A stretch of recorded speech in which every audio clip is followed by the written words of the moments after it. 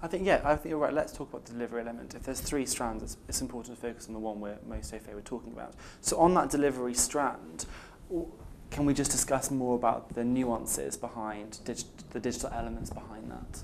Sure.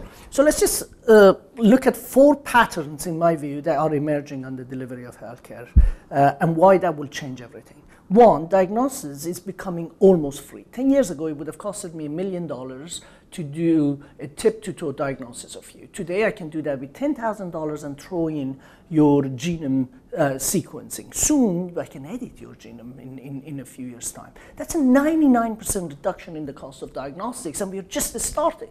Uh, we're now going from clinics into your homes. The other day, I saw a device you attach to your mobile, you talk to it, it analyzes your breath for 50 different diseases.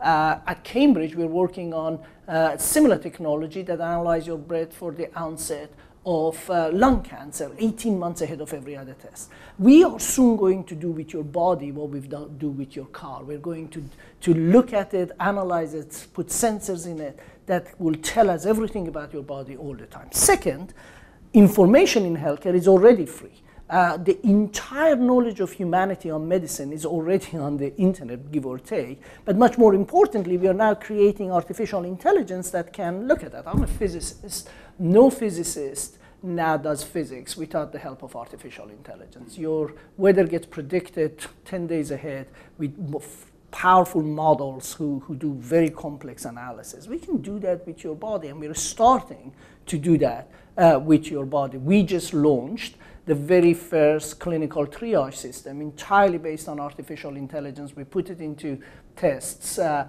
uh, academic tests, and it showed that it's more accurate than a doctor by 13% and a nurse by 17%. And it's scientific to think that way, to think that the rational, sequential, logical decisions machines can be able to compute better and faster than human beings. Thirdly, uh, we are now can reach everybody. So we know we can diagnose, we can, uh, we can, we can, we can do the diagnosis and have the knowledge, but now we can reach you. We, everybody has a mobile phone. Much more importantly, whatever that mobile phone does today is only 50% of what it can do in uh, next year. It's only 3% of its capability five years from now. 10 years from now, it's 1,000 times more powerful. Can you imagine a mobile phone 1,000 times more powerful? What can it do? Uh, and the fourth element of what is happening is that everything in treatment is being turned over its head.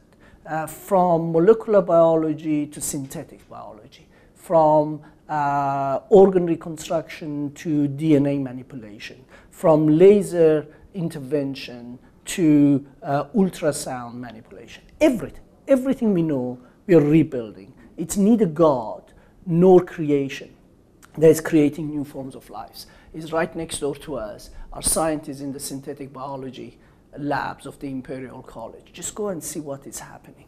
You put all of these together, everything we know about healthcare is about to just fall apart, and a brand new field is being invented.